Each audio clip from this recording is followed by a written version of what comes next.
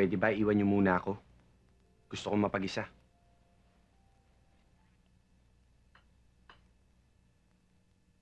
Sinabi na umalis muna kayo eh!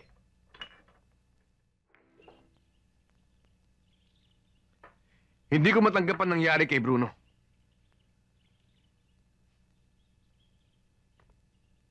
Napatay ang demonyo. Tumabla naman ang...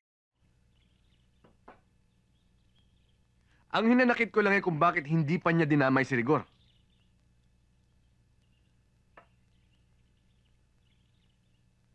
Kung sa bagay, ang mawalan ng asawa at anak ay parusang walang kapantay. Parusang walang kasinsakit. Alam mo, Tay, mahal na mahal kita. Ako rin, Tay. Sana hindi tayo magka-hiwa-hiwalay nila nanay. Huwag kayong mag-alala. Simula ngayon, palagi na tayo magkakasama. Tsaka, hindi na tayo maghihiwa-hiwalay. Totoo yan, Tay. Oo! Yay!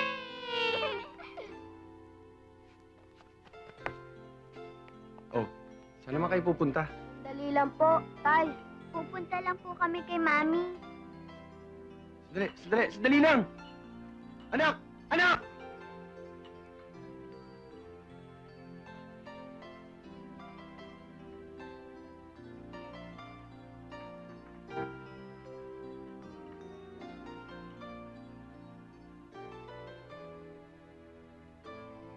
Pare!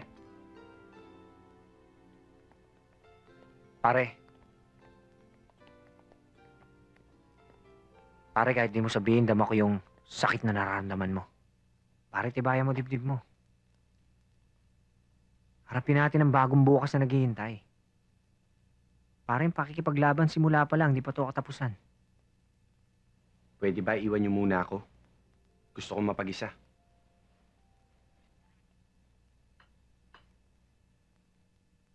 Sinabi na umalis muna kayo eh!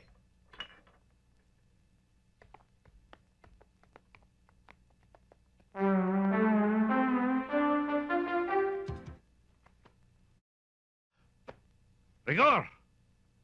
Ano bang nangyayari sa'yo? Talaga bang gusto mo sirain ang buhay mo? Ha?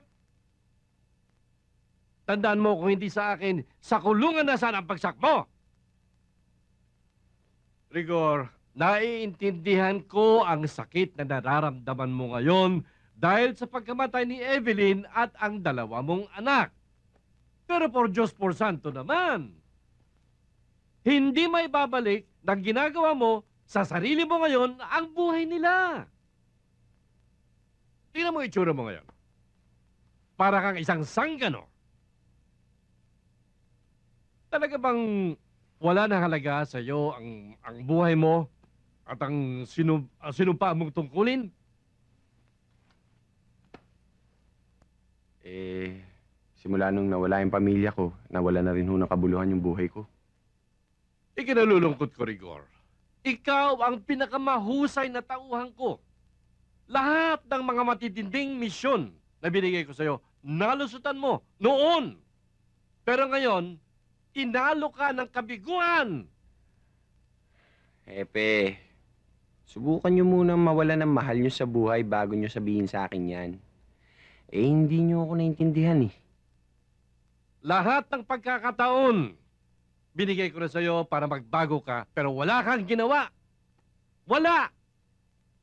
Kaya wala akong magagawa kundi suspindihin ka hanggat hindi natatapos ang kaso na isinampa laban sa'yo ng may-ari ng club na yon.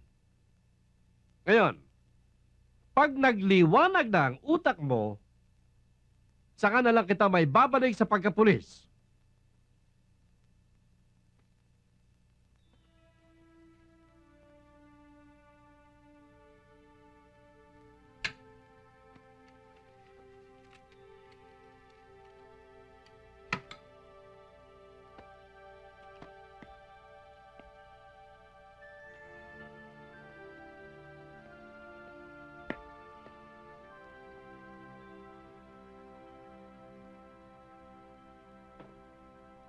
Hindi ko kailangan ng awa nyo. Basta't simula ngayon, kalimutan nyo na nagkaroon kayo ng opisyal sa katauhan ko. Pero sir, hindi ka dapat patalo sa damdamin mo. Oo nga naman, sir. Sayang lahat sir ang mga pinunla mo. Doon din lang pala magwawakas. Lahat ng tao maabot sa puntong ganito. Huwag sanang umabot sa inyo. Okay. Pwede pang baguhin ang lahat, Tenyente. Tanyente, huwag mo sayangin ang panahon. May pagkakataon pang tumaas ang iyong ranggo. Kailangan ka ng estasyon. Tulungan mo kami. Hindi namin kaya, lumalalang Huwag na karasan. kayo humirit. Hindi na ako pulis.